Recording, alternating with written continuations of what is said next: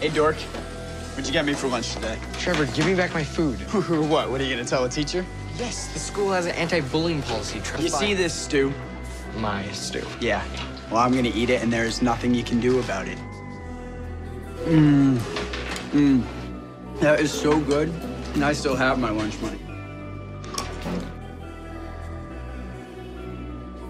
Killed a Maj, you broke a bicuspid.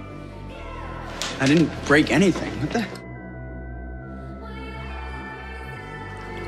Stu. Oh, it's people. It's Stu. It's, it's people. It's people.